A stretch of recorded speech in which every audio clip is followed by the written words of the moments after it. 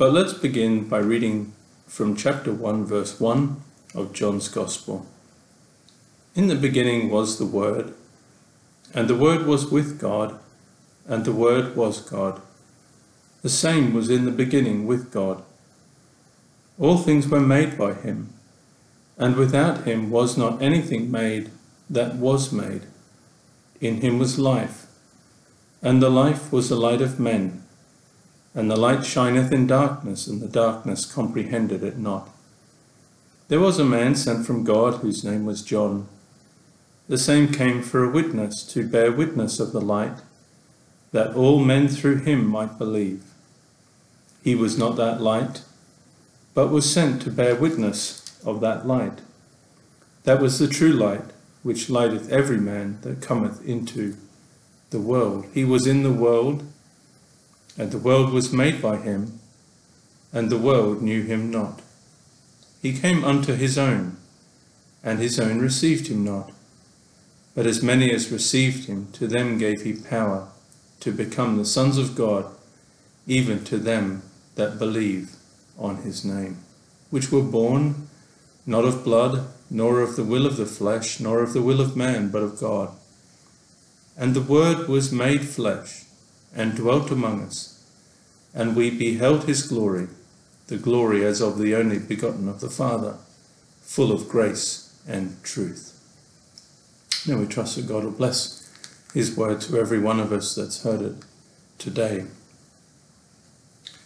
I was interested when I came to look at this book again, just to think a little bit about the background and the reason perhaps that John gives for writing this fourth gospel that we know in the Bible. You remember that there are four gospels that have been written Matthew, Mark, Luke, and John.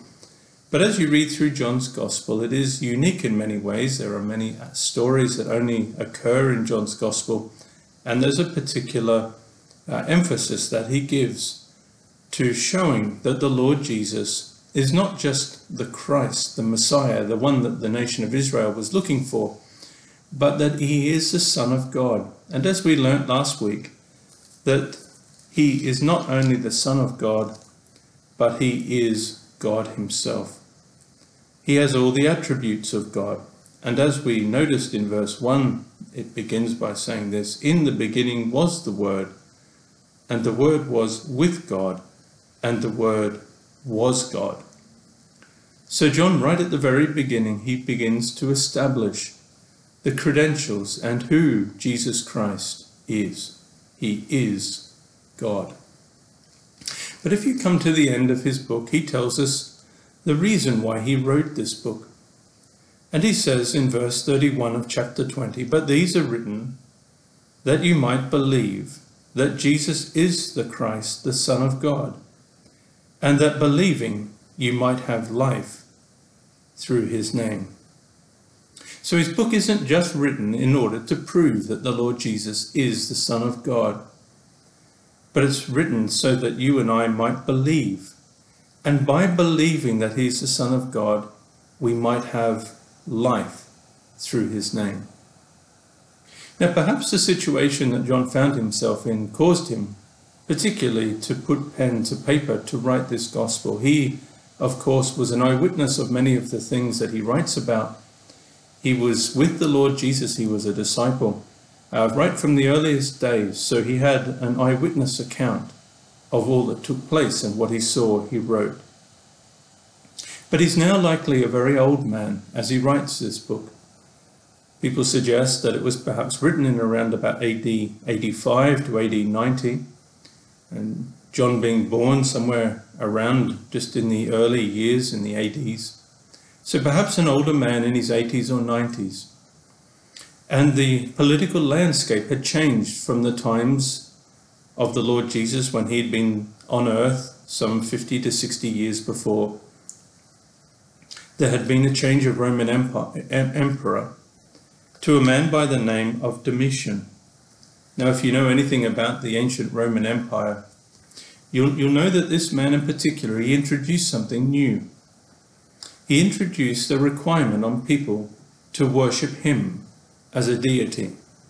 He made a claim that he was the son of Jupiter, the Jupiter being the highest ranking uh, deity amongst the Roman gods in that time. And so he claimed that he was the son of Jupiter and demanded that all of the subjects of the Roman Empire should worship him. Now, that of course caused a, a, massive problem for Christians and likely John himself. You see, the, the Christians believed that there was only one Son of God, there was only one God, and that his Son had come into the world, and that man should never be worshipped at any kind of level, let alone on a par with God. And so John writes this gospel to tell people, without any shadow of a doubt, that there is one God and that there is one Saviour and one Son of God who came into the world, the Lord Jesus Christ. Now, he knew in writing this that if people believed it, and if people would not subject themselves to the order of the emperor, that he was putting people's lives on the line. People would die. People did die because they wouldn't bow down to a man, but they confessed that Jesus Christ was the Son of God. Now that shows you then the importance that this book plays. John writing now, knowing that many of his contemporaries and that he himself would die, lose their lives, be martyred, if they held on to their belief that Jesus Christ was the Son of God. In the verses that we have read, you'll notice, though, reading down from verse 6 to verse 14, John introduces us to another metaphor, if you like, or another title of the Lord Jesus, and that's to him being the light. And on a number of occasions, he refers to the Lord Jesus as the light. When you come into chapter 8 and to chapter 9 of John's Gospel, you hear the Lord Jesus referring to himself as the light. And on both occasions, he refers to himself as the light of the world. He says, I am the light of the world. Now, I would like then to consider for a few moments this evening about the significance of the title and what it means. Now, you know, when you think about light, you think about something that reveals things, something that shows things that would otherwise never be known. If you were in a room that was completely dark, you wouldn't know what else was in the room with you. You wouldn't be able to see you would be oblivious to everything around you. And likewise, in a spiritual sense, the Bible says that without the Lord Jesus in our lives, we too are in darkness. That means to say not that we cannot see physical things, but we cannot see spiritual things. We can't understand the things of God. We can't perceive things as God would see them. And so we need light in order to see it. And when the Lord Jesus came and declared himself to be the light of the world, what he was really saying was this I am the one that makes sense of spiritual things. I'm the one that enlightens spiritual things. I can show you the meaning of spiritual things. And I want to look at four of the things that we find in these few verses that we have read together. And the first thing that I'd like you to see is this the Lord Jesus made sense of the purpose of human history and of humanity itself and of world history. He says in verse 10, it says concerning him, He was in the world, and the world was made by him.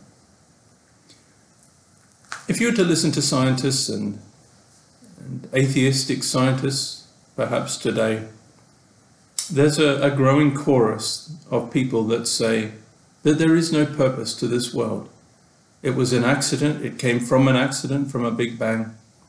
It, we are just atoms all joined together, strings of DNA with no purpose, heading on to a, a purposeless future until perhaps one day the whole universe either collapses on itself or energy runs out, and it's a meaningless existence. To follow that through to its logical conclusion, you have to say your life and my life are, are completely worthless. They have no purpose. You have no value. All you are is just atoms or DNA held together. But the Bible's perspective is altogether different from that. And in particular, the Lord Jesus is the light that shows us the purpose of world history, the purpose of why we're here, and what life is all about. I suggest to you perhaps that in these days, in particular with COVID 19, a lot of people perhaps have realized and had to reconsider what the point of life is. Some people had lived for football, but in COVID 19 world, there's no football. Some had lived for their families to go and see them, and, and that was really what kept them going. And as nice as those occasions are, they've been prevented during the lockdown. And people live for careers, people live for their work, their, their advancement in, in uh, their uh, employment. And sadly, for many, their jobs have been lost, or for many, they're unable to work. And the whole work landscape has changed. And for others, it was just the accumulation of money, but the COVID 19 has, has put a, quite a dent in the share market. And everything perhaps that people wondered what life was for, the purpose of life, has in many ways been pulled out from underneath them. And it causes us then to ask a question what is the point of it all? But you'll notice that in these verses we find particularly and, and quite clearly that there is one purpose to it all, and that is the Lord Jesus Himself. If He was the Creator, as we learnt about last week, where it says in verse 3, all things were made by Him, and without Him was not anything made that was made. Then He brought this world into being. He had a purpose for it. He made it for a reason. And that includes you and I. Everything that is in this world has been made for a reason, has a purpose. Now, I, I, suggest to you that that is the only thing that can give life meaning. It, it, it sheds light on what the whole purpose of human history is. It was made by him. If you were to turn to another book in Colossians in the Bible, you'll find this that it wasn't just made by him or through him, it was made for him. He was the heir of all things, the Bible says. In other words, it's like a, the father has a son whom he intends to give a great inheritance to. And that is the way that the Bible pictures the relationship between the Father and the Son in the Godhead. The Father delights to give an inheritance to his Son. This world and everything is moving towards something, a goal. And that goal is that everything one day will be headed up under the Lord Jesus. It will all be for him. Now that brings us then to this conclusion that if it was all made by him and it was for him, then you and I must mean something to him. And we do. The verse goes on to say this He came unto his own, and his own received him not. He came. If you want to see the main reason and evidence why you can know for sure that God is interested in you. You can just take these two words, He came. He left heaven to come down. A staggering thing, but it shows you that the whole point of history is it's for Him. He's come into this world that He might save us. We mean something to Him, and He proved that by dying for us, for our sins on the cross. But I want to see that not only is he the point of history and shedding light on the meaning of life and why we're all here and what it's all for, that he is the ultimate goal of it all. But I want you to see as well that he sheds light on what the real problem with man is. You see, this is something perhaps at times that is lost on many people. What ultimately is wrong with the world? People sometimes begin with some of the great crimes against humanity. And they might give you a list of all of the things, and even if you were just to look down through the last century of human history, to look at the, the, the awful genocides that have taken place, you could begin by going back a century or so, back to the Ottoman Empire, and, and you have uh, an awful genocide against the Armenian people. Over 1.5 million people lost their lives. Come a little further in history, and you have the genocide uh, that was committed out committed in Cambodia by Pol Pot, and three million Cambodians lost their lives, or the genocide and extermination or attempted extermination of the Jewish people by Hitler, and historians suggest over six million lost their lives. And we can think of awful tragedies and crimes against humanity. And people say that's really where the problem lies. But the Lord Jesus, when he was here, he shone light on what the ultimate problem was. And it isn't just what people do that's the problem. Because if it was just what people do, then you might be able to change it. But what the Lord Jesus really showed was this it wasn't so much what people did that was the problem, it was why they did it. And that was ultimately the problem of sin and the problem that lies within the heart of every single one of us. It might demonstrate itself in different ways in different people, and some sins you might uh, be aghast at, and others perhaps you might turn an eye to, particularly your own. But the Lord Jesus said, really, the fundamental problem with everyone is that sin has come into the world, and sin not only has come into the world in general, but it has come into our own heart. In showing precisely what the problem was, he, he makes mention a few times to this fact that the greatest crime of humanity that would ever be committed was not crimes against man, but it was crimes against God.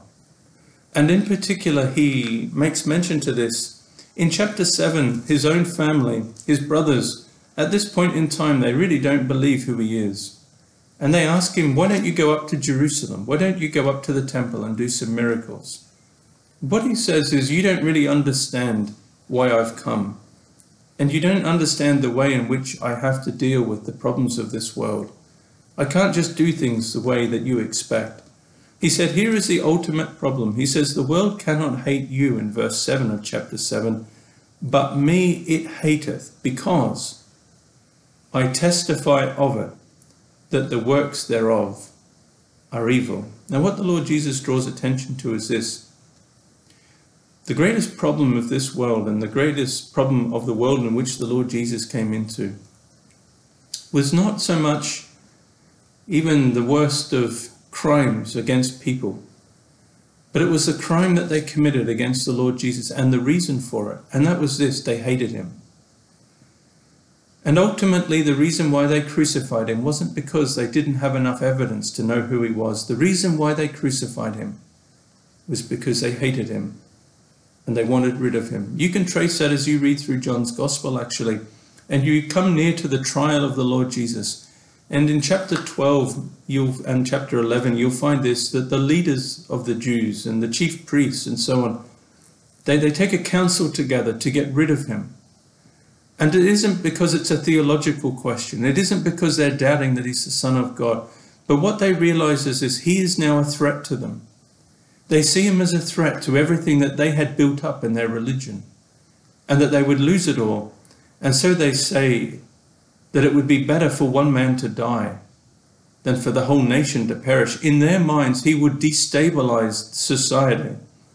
Everybody was following him. He'd raised a man from the dead in Lazarus, and now the whole world was turning to him apparently as they saw it. And so they thought that great the one great thing that they could do would be to get rid of him, to kill him.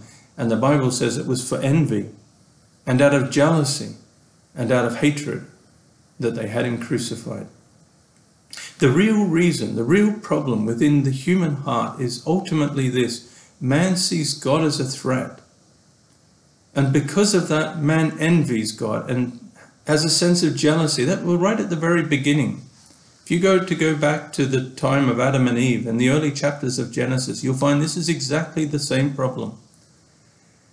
Adam and Eve wanted what God had. Satan convinced them that God was keeping something from them and that if they could only have what they weren't allowed, then they would suddenly have freedom. And they essentially wanted to be in control of their lives. They didn't want God to rule. They didn't want God to dictate. And the Lord Jesus, when he came, he showed people, he shone light on this problem, that the real problem within the human heart is that man doesn't want God. But there's something else.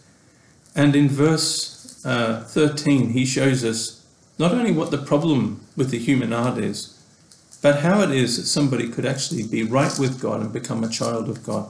Now, this ought to be staggering to every one of us. He's just said in verse 11 that he came unto his own, and his own received him not. His own people, they rejected him and crucified him. And you would wonder why God would ever put up with man. Why God wouldn't just destroy man for what the most heinous and outrageous crime that's ever been committed when man, God's own creature, took the Son of God and crucified him. But John goes on to say this but, this little word but. Despite the awful crime of rejecting Christ, the Bible says, but, but as many as received him, to them gave he power to become the sons of God, even to them that believe on his name. The Lord Jesus made it clear, as the light of the world, he would make it clear exactly on what terms somebody becomes a child of God. And this verse shows us this. He says, But as many as received him. Now you say, What does it mean to receive him? I can't receive him. He's not physically here, not as it was for the people that were here in his day. But he goes on to say at the end of the verse, even to them that believe on his name.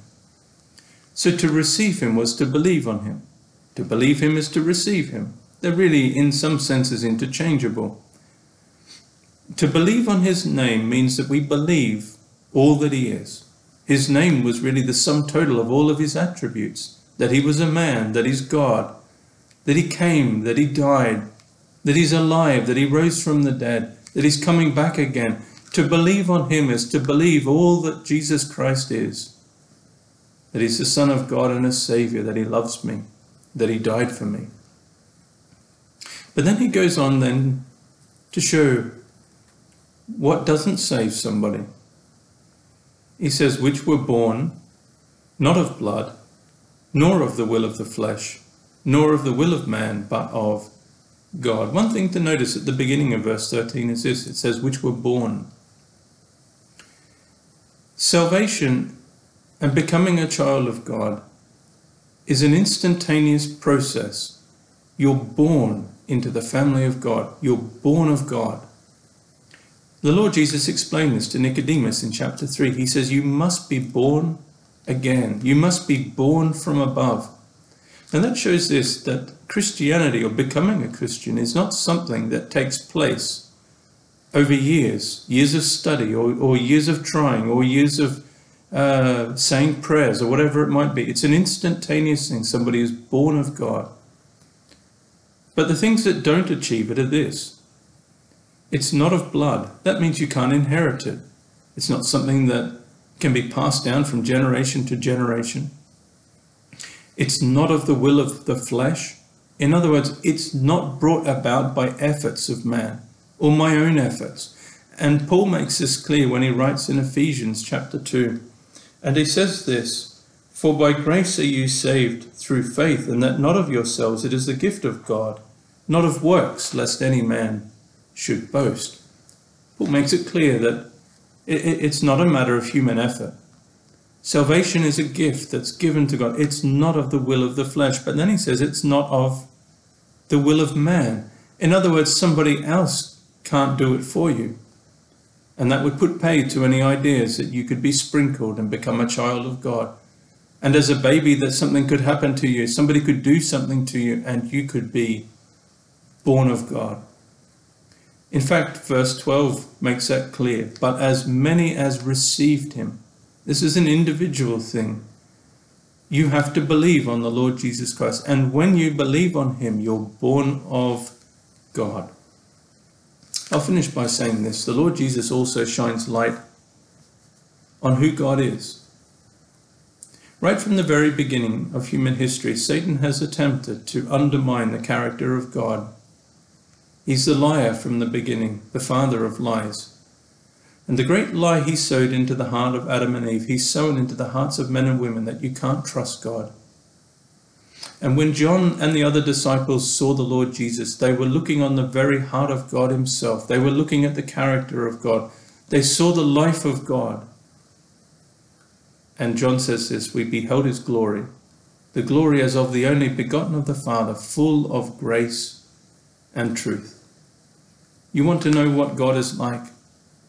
Look at the Lord Jesus. He died for you. He came that he might bear away our sin, that through believing in him we might have life. And truth, John says it was full of grace and truth. And one thing they came to realize about the Lord Jesus was this everything he said was true.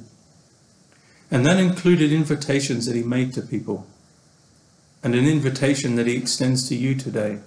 He said this Him that cometh to me, I will in no wise cast out. And that applies to all of us. Him that cometh to me, if you come to him, come in faith. You can't come in person, you can't come physically, but you can come in faith to the Lord Jesus and ask him to save you. And if you come to him, the Bible says he'll never cast you out.